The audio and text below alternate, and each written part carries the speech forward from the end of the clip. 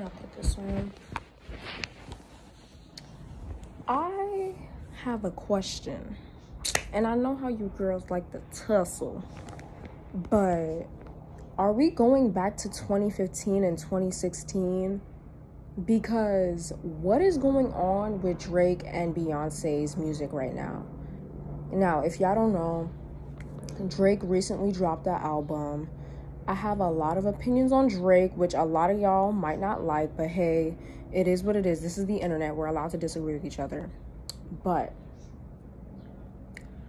and um, Beyonce recently dropped a song called uh, "Don't Break My Spirit" or something like that. Um, I'm sorry. In recent days, Drake is become trash. I'm waiting for the day where Drake just quits music and you know just becomes like a social media light and a A-list celebrity, like just a random A-list celebrity, because um,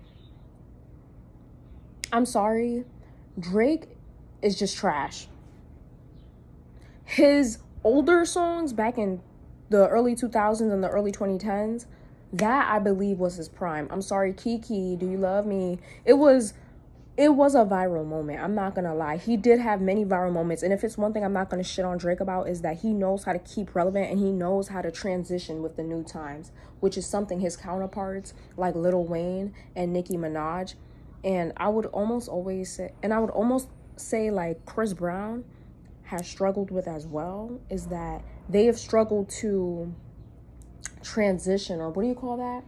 Assimilate with the new generation. Like if it's one thing I will um congratulate Drake on is that he has found a way to make himself and associate himself with the new generation and their type of music. That is one thing I'm not to shit on Drake about. Or you used to call me on my cell phone. Like, I don't even think that was his prime. I think his album with the clouds and shit, what's that song called?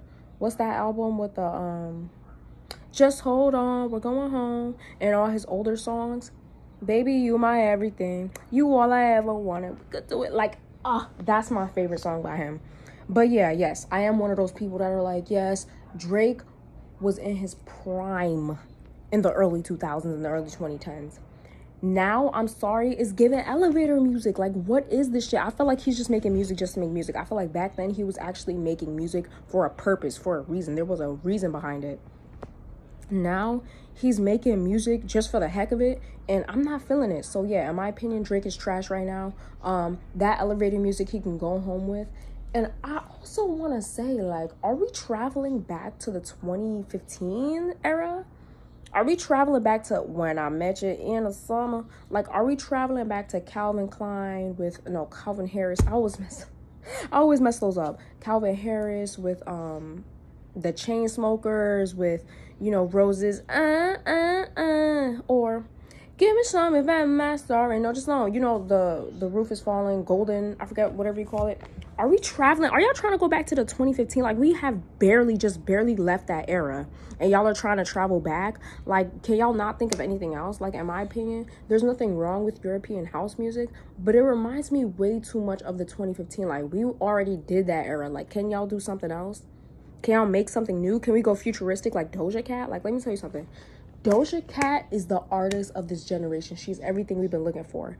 I don't know how, but every outfit she has, it always gives it. I'm not like one of those people that's like, oh, anything Rihanna wears looks good. I'm sorry, Rihanna could be in a trash bag, and yes, she'll make, like, it doesn't mean that the trash bag will look good on her. Like, I'm sorry. Not every Rihanna outfit looks good. It looks decent, but I would definitely say almost everything we see Doja Cat in looks at least at the very least decent. She's the artist of this generation. Like, why can't y'all be like Doja Cat? Can y'all make something new? Can we go futuristic here? Like, why are we trying to travel back in time? Well, we barely left that time. Like, you know what I mean? And then beyond, and then Beyonce's song. I'm sorry, I'm not a huge Beyonce stan. I don't believe any and every song. Sorry, that Beyonce releases looks good. I mean, is good. Like, I'm sorry Beyonce's little hip hop era where she was like with ape shit.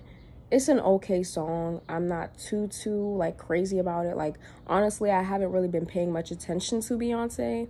Um she has taken um a break from music. I feel like she's become more theatrical in her songs, which you know is not unusual.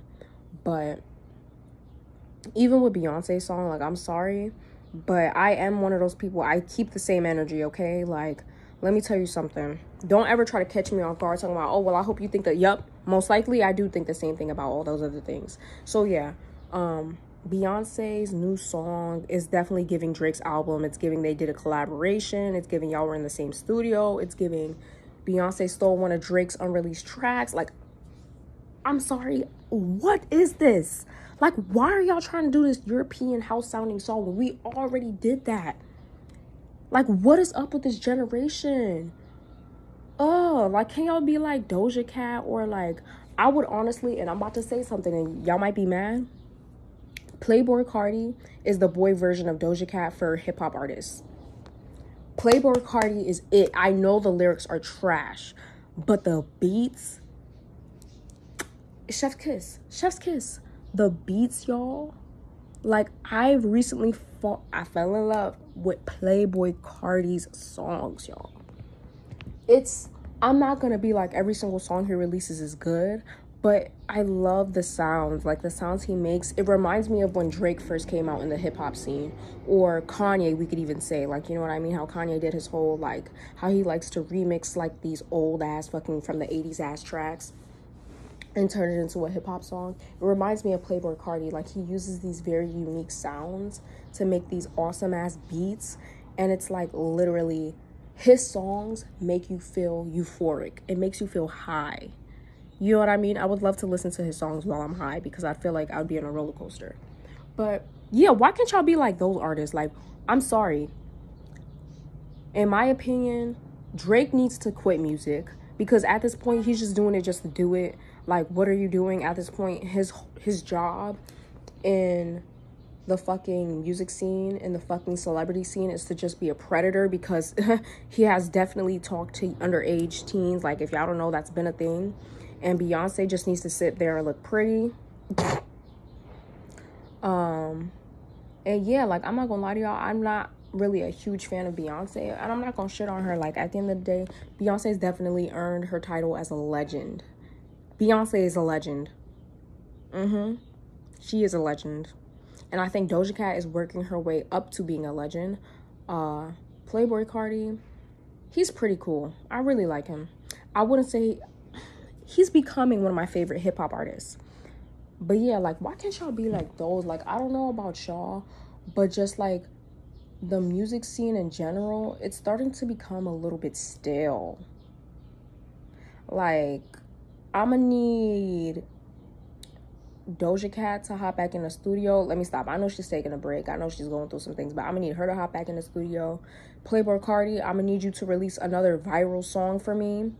Um, Megan Thee Stallion, switch it up like switch it up just switch it up like i don't know like y'all i'm not a megan Thee stallion hater like i do believe Tory shot the fuck out of meg if y'all don't know yes i do believe that ain't no way he did not shoot her like he shot the fuck out of her. That napoleon complex will get you. But megan Thee stallion i'm gonna need you to switch it up. I'm gonna need you to just do something different okay? Um Saweetie please leave.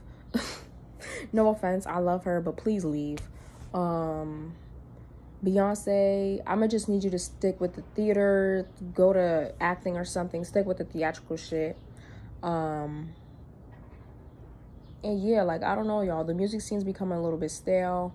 Um, Billie Eilish, Billie Eilish.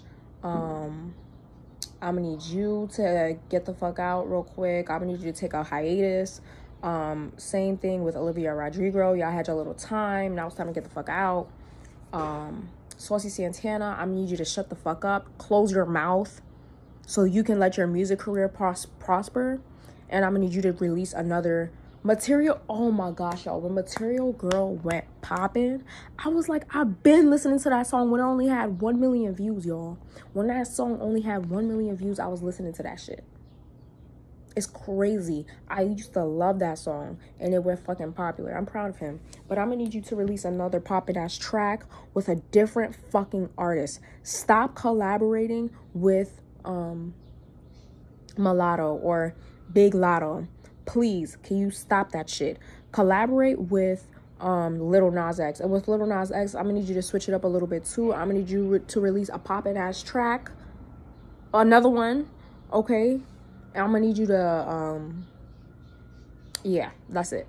Um, but yeah, that's my opinions on Drake's album and Beyonce's newly released song. We don't know what her album's gonna be like, but please, I hope that song is not like what it's all gonna be like. If we know Beyonce, I feel like she's gonna take us for a spin. She says she's gonna release a country song. I'm not really happy about that. I don't hate country music, it's just I don't like it. But um yeah, those are my opinions. Hopefully y'all enjoyed this video. Put down your comments down below on what y'all think about Drake's album and Beyonce's song. And I'll see y'all on the next one. Peace.